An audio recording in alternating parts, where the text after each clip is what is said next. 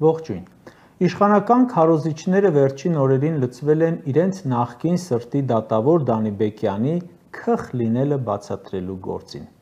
ԲԴԽ-ն, ինչպես գիտենք, դադարեցրեց նրա իբրև դատավորի լիազորությունները։ Պատճառաբանել էին, որ նախագահ Ռոբերտ Քոչարյանի վերաբերյալ շինծուգործը չի կարողացել մինչև վերջ տանել եւ մեղադրական վճիռ տալ։ Ու հիմա ապերախտ իշխանականները պետական եթերներից աղմկում են իրենց փոքրաթիվ կողմնակիցներին համոզում, թե Դանիբեկյանին տեսակ ոնց պատժեցինք, որ Քոչարյանին չդատեց։ Նախ սուտ է թե չէր դատում, լավ էլ դատում էր, ավելին ասեմ, ապօրինի էր դատում հակասահմանադրական հոդվածով, որը իրենից անկախ կարճվեց բայց գործի հակասահմանադրական լինելը նրան չէր խանգարել 1.5 տարի նախագահին կալանքի տակ պահել։ Մյուս գործով անգամ հանցակազմը չէին կարողացել ձևակերպել։ Ինչքան հիշում եմ, գրեթե բոլոր միջնորդությունները, որով հանդես էին գալիս փաստաբանները, մերժում էր, որը դատախազներն էին ներկայացնում, բավարարում էր։ Երբ պետք էր որ նիստ տանի, միջնորդություն լսի, մեկնում էր արձակուրդ, դասընթացների, վիրահատության, մնացած բոլոր դեպքերում նիստերը լավ էլ անում էր։ Հիմա այս ապերախտները,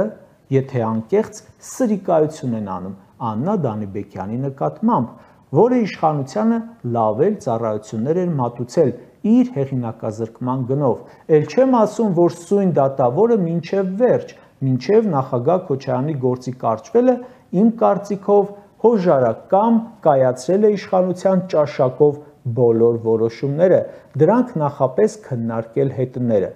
Գուցե արել է ստիպված, գուցե արել է չուզենալով, գուցե ներսում ինք իր հետ կռիվ է տվել, բայց ամբողջ գործընթացին հետևելով կարծում եմ հոժարակամ արել է։ Ուզում եմ հիշեցնել, որ այն առաջին հակասահմանադրական ու խայտարակ գործը սահմանադրական կարգի ենթադրյալ տապալման մասին քննում էր դատավոր Դավիթ Գրիգորյանը, նա կամք ցուցաբերեց ազատել ազատ արձակելու նախագահ Քոչարյանին եւ դիմեց սահմանադրական դատարան, քանի որ ըստ նրա գործը հակասահմանադրական էր։ Դա 2019 թվականն էր։ Ինչ արեց իշխանությունը։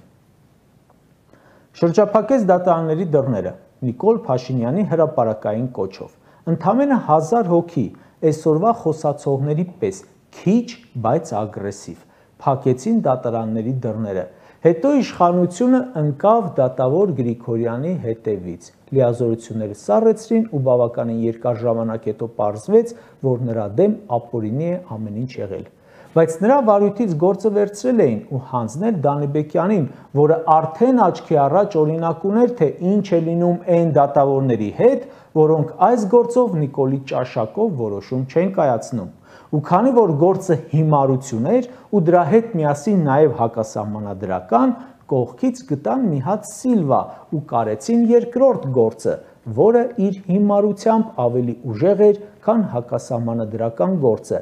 Այն կարգի, որ ինչպես արդեն նշեցի, հանցակազմը չէին կարողանում նշել։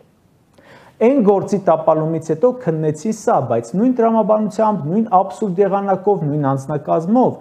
այս ամենը իշխանության անդամները լավ գիտեն, որ այսօր խոսում են։ Ուղղակի երևի թուղթ են տվել, ասել են սես կխոսեք։ Հիշեցնեմ, թե ինչպես կարծվեց այս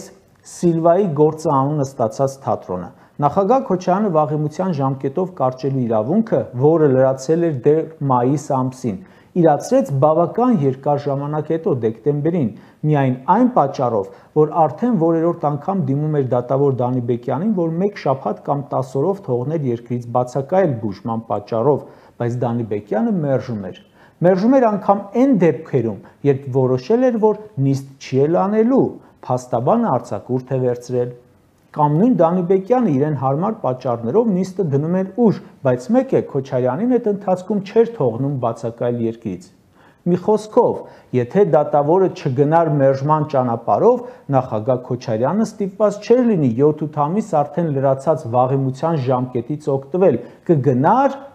կգար ու կասեր. քննեք ու խայտարակվեք մինչև վերջ, ինչը եւ անում էր։ Դե հիմա ասեք, ով էր ճնշում Դանիբեկյանին, որ հանկարծ չթողնի նախագահ Քոչյանը դուրս գա երկրից։ Դանիբեկյանը օգնելով իշխանությանը Կատարելով հրահանգները հնարավորություն չի տվել, որ այս գործը մինչև վերջ գնա, որ սահմանադրական կարգի ենթադրյալ տապալման պես սա էլ սրա ջուր լինելն էլ ապացուցվի։ ԲԴԽ նախագահը ասում է Դանիբեկյանի արածը հեղինակազրկել է դատական համակարգը։ Այո, համաձայն եմ։ Բա երկրի նախկին ղեկավարին շինծու ու հակասահմանադրական գործերով 5.5 տարի դատարան եք բերել, 2 տարիներ կալանքի տակ, բա դա ամբողջ դատական համակարգի հեղինակազրկում է։ Դա հետևանք էլ է ունենալու իրավական ու ահագին մարդ կա, որ օգտվելու է այդ հնարավորությունից։ Բա դուք հակաօրինական քրգործը համարում եք դատական պատմության մեջ ամենակարևորը։ Բա դա հեղինակազրկում չէ, ինչ է։ Ուղղակի դատական համակարգի հետ միասին ու ավելի շատ հեղինակազրկվեց դատավորը, որին բերեցիք դարձվի ամենաբացասական համբավ ունեցող դատավորներից մեկը։ Մինչև նախագահ Քոչյանի գործը Աննա Դանիբեկյանին ով էր ճանաչում։ Հիմա ցավոք սաղ են ճանաչում։ Ունենք դատավորներ՝ Զարուհի Նախշքարյան, Դավիթ Հարությունյան, Աննա Փիլոսյան եւ այլն, որոնց աշխատանքից ապօրինի ազատել եք, դարձել են փաստաբան բայց Դանիբեկյանին դուք ձեր ցուցումներով, ձեր պատվերներով մերժելի դարձիք ողջ իրավական համայնքում, որ դժվար է ասել, փաստաբանության մեջ կամ իրավական ոլորտում այլ տեղ աշխատանք կգտնի։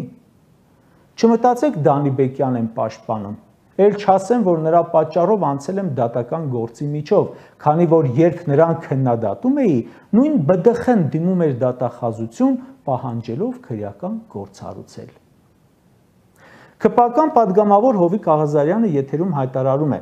Աննա Դանիբեկյանը ասում է. 100%-ով ստացել է խոշոր գումարներ։ Վերջապես իշխանությունից մեկը հրաապարակայնորեն կիսեց իմ կարծիքը, որ Աննա Դանիբեկյանը վստահ եմ, լավ է իմանալով, որ հակասահմանադրական գործ է, 1.5 տարի նախագահ Քոչանին կալանքի տակ էր պահում, բազմիցս մտածում էի, ուրեմն էսկինը կամ իշխանական մեծ ճնշման տակ է, կամ եթե դա էլ հերիք չէ, ինչ որ լուրջ շահագրգռվածություն ունի։ Պարոն Աղազարյան, բա այդ մասով չեք մտածել, ով կարող էր մոտիվացիա ունենալ, ով կարող էր ձեզանից բացի շահագրգռված լինել։ Նիկոլը Պարզա, ուրիշ, Ալիևը, Սորոսականները, Վազգեն Սարգսյանի աղբերը, որ աչքը բացում Քոչարյանից է բողոքում։ Էլով կա որ Քոչարյանը ատում։ Փորեք, բայց դե զգուշ եղեք, ինքներդ ձեզ վրա հանկարծ դուրս չգաք։ Կարճ ասած,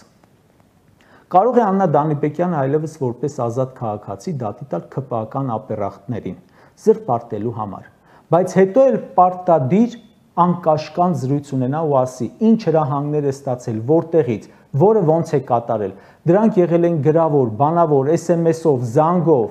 Հենա Վարդազարյանը ոնց արեց, հիմա պարշճակատման է գալիս։ Թող Աննան էլ մեկ առ մեկ պատմի հասկանանք Հայաստանի պատմության մեջ ամենախայտարակ գործերը ինչպես են կարվել։ Ինչպես են նախագահ Քոչարյանին լրացուցիչ ծանրաբեռնել հերթական ջուր քրեական գործով։ Իսկ արդյունքում վարի տվել երբեմնի անվտանգ երկիրը Արցախ հանձնել։